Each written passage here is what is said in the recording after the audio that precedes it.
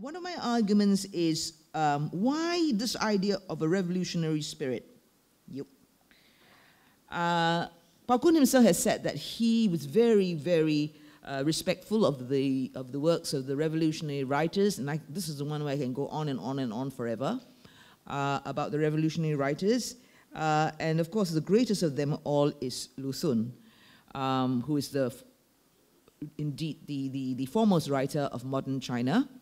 Uh, he's the editor of the New Youth magazine, which is very important. New Youth was a major platform for inciting revolution in, uh, this is 1919, eh? so this was after the First World War, not the Second World War, so in between. Uh, and he was the nominal leader of the Left Wing Writers League. Left Wing Writers League, so he, so he was uh, idolized, made into an icon by the Communist Party, though he himself never, never really uh, joined the Left Wing Writers League, but he was the nominal head of the, of the, and we'll talk a little bit more about that as we go along. Now, I suggest that Pao Kun was greatly influenced by the revolutionary writers uh, of China.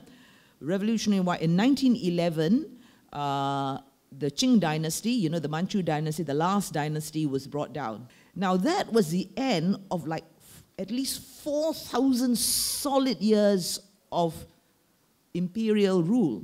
Then, so the Qing, 1911, and who knocked Qing on the head? Among them is a guy called Yuan Shikai, is it?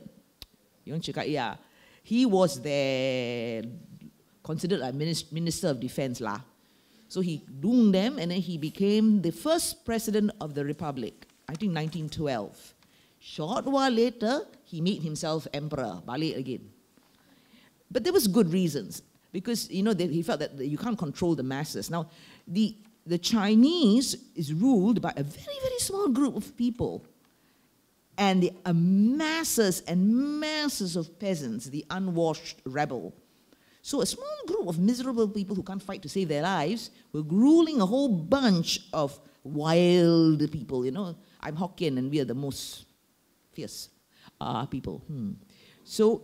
Uh, so this was around the time, 1911. So revolution began then. So I've got here the six laws of Chinese painting by this fellow called Xie He, and, and he's, I mean, that was mighty long time ago, but he's still very, very well regarded. And I chose that, to, but you must understand, this idea runs across uh, Chinese art. The, on the sixth law, they say, follow your, the predecessors. So this is how the Chinese actually have their creativity, they riff. So if you see Patang Shan you can find a whole lot of Patang Shan like paintings that follow after him. Because you take the painting and then you change that style with a little bit. So I felt that uh, uh, Pao Kun used a lot of the revolutionary writers, particularly Lu Xun, and he riffed on that. Now, Lu Xun wrote in the Fan de Siècle, I hope I pronounced it right. It's not Fin de Siècle, Fan de Siècle. Agak-agak, you know lah. It's the transitionary time, you know, millennial time of the end of the imperial China and the birth of the Republican government. Remember, remember? I told you? He, uh, I can't remember, he died in 1936.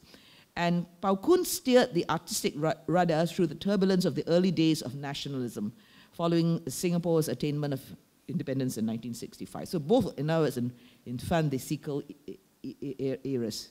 Now, this is the, the time in uh, actually it was the May 4th, 1919 uh, picture from there. China at the turn of the 20th century was on its knees. The insular concept of the Middle Kingdom, you know, 中国, you know, huh? they really had this idea that they were in the middle and anybody who's further and further and further, further away came, more barbarian, more barbarian, more barbarian, more barbarian, more barbarian. You, you know that? I mean, they really believed it. So they didn't learn from the Industrial Revolution, which was happening in the West.